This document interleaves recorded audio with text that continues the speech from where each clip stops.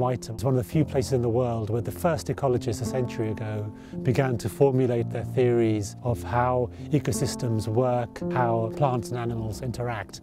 And that has led to a rich history of understanding and insight from Wytham that has gone on to feed into our understanding of ecology of the planet as a whole.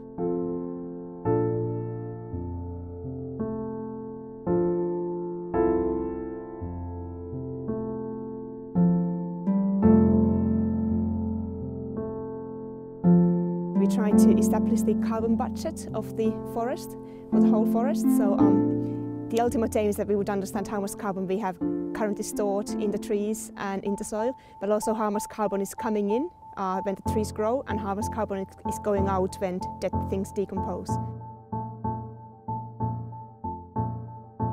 Our aim is to both understand Wytham in itself, but also to use Wytham as a node of a global network of sites where we do these types of measurements, and it's, it's our local European node.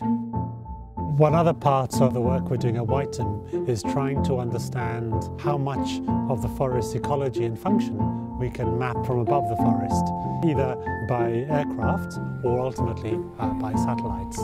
And uh, we do this by, firstly from the towers and the walkways, we put up sensors to try and monitor the forest canopy. Over this year, uh, we're, we're, going to be flying aircraft over Wytham with both uh, lasers that will bounce off the forest and measure the structure of the forest in exquisite detail. And at the same time, with a type of sensor called a hyperspectral sensor that measures hundreds of different wavelengths of light. And from that, in principle, you can actually work out the chemistry of every tree that you're looking at. The reason we do this work is ultimately to see to what extent can we map the functioning of the biosphere, the health of the biosphere at a larger scale. My research group has similar plots uh, all over tropical countries. So I also work in Borneo and lots of my colleagues work in the Andes and in the Amazon region and also in Africa. Obviously the working conditions here are really easy, so you can just uh, cycle from Oxford and then spend a day here and then go back home at the end of the day. In Borneo we do have snakes and we do have lots of leeches and they are those land leeches so they are all over the forest floor. But um, Wytham is not a sleepy little place. We have stinging nettles and mosquitoes, bramble.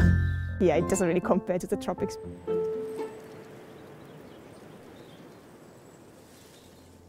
I think uh, one thing that over the years uh, I've become to appreciate more and more is how much the woodland is changing all the time.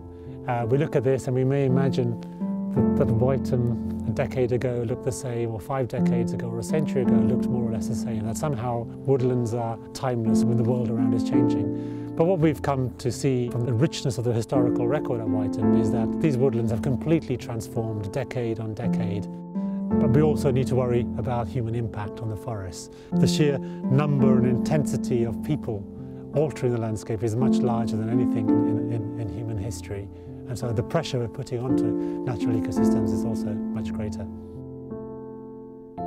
I think through my research I've come to see forests in, in some different ways. I often see them as cycles and rhythms of processes, so of flows of carbon and nutrients and water. So I think what a, a scientific eye can do is give you new glasses to look at, at nature. The more you understand the delicious complexity of the forest and the processes going on beyond your immediate vision, the more you, you come to, to love and appreciate the forests.